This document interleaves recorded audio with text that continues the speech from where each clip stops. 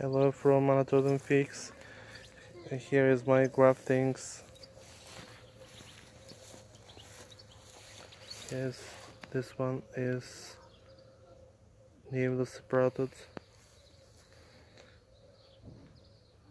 This is the sort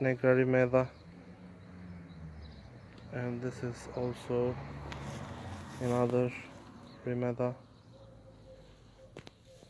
and these are the other graftings as, as you see it's giving some breba crops and also here is the other variety called Tauro and Vasilica melissi, the other variety Greek